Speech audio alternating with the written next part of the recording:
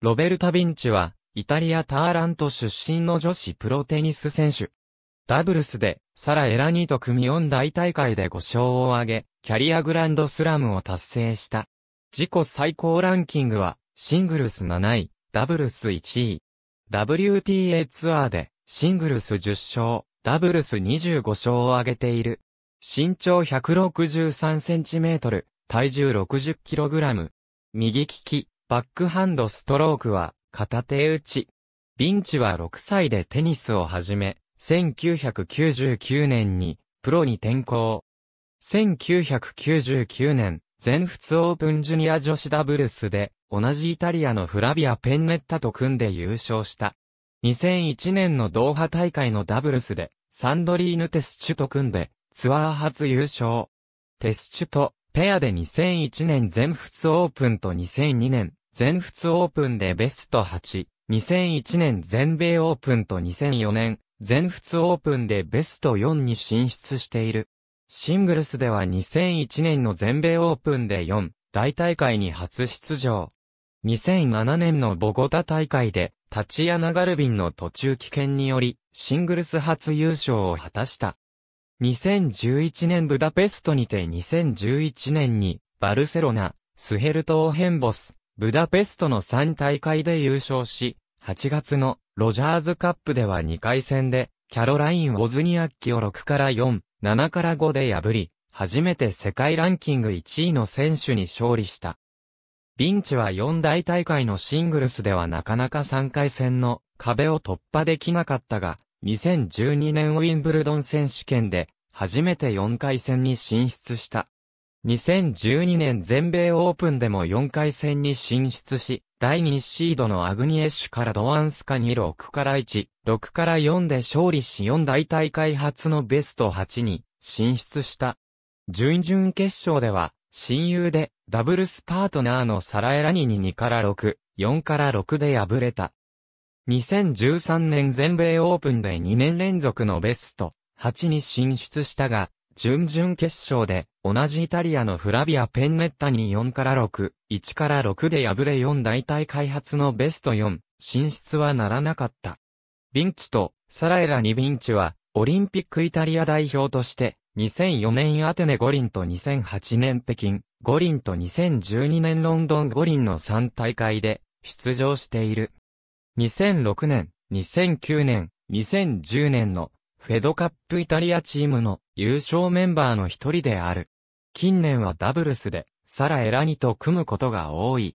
2012年全豪オープンでは、エラニとのペアで、初の4大大会の決勝に進出した。決勝では、スベトラーナ・クズネツワベラ・ズボナレは組に7から5、4から6、3から6で敗れ準優勝となった。2012年全仏オープンでは、決勝で、マリア・キリレンコナディア・ペトロワ組を4から6、6から4、6から2で破り初めての4、大大会ダブルスタイトルを獲得した。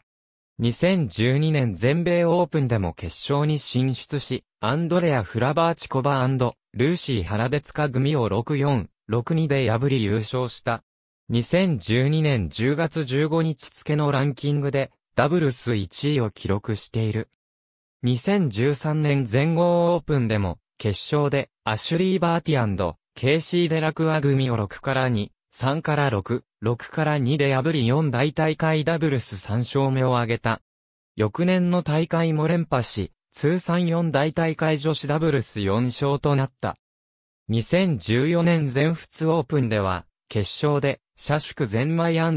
法卒組に4から6、1から6で敗れ準優勝に終わったが、ウィンブルドンの決勝で、ティメア・バボシュクリスティナ・ムラデノビッチ組を6-1、6-3で破り史上5組目のキャリアグランドスラムを達成した。2015年全米オープンでは準決勝で、セリーナ・ウィリアムズを2から6、6から4、6から4で破り、年間グランドスラム達成を阻止。イタリア勢同士の対戦になった決勝ではフラビア、ペンネッタに敗れて、準優勝となった。2016年は2月のサンクトペテルブルクレディストロフィーでは、決勝でベリンダ・ベンチッチに勝利し、プレミア初優勝となるツアー通算10勝目を挙げると、2月22日付のランキングで10位となり初のトップ10入りを果たす。33歳4日での初トップ10入りは、WTA 史上最年長記録である。5月9日付のランキングで、自己最高の7位を記録した。ビンチは2018年に、地元の BNL イタリア国際を最後に現役を引退すると発表。1回戦のアレクサンドラ・クルニッチ戦が現役最後の試合となった。